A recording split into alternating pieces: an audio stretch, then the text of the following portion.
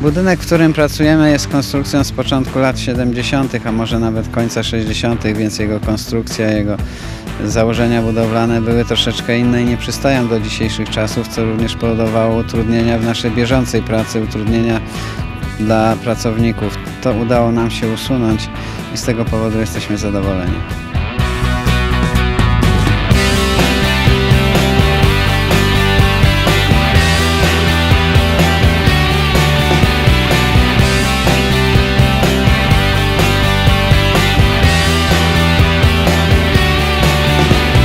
Remont budynku dobiega końca. Kupujący bilety nasi pasażerowie mieli dużo utrudnień z tym związanych, za to ich przepraszamy.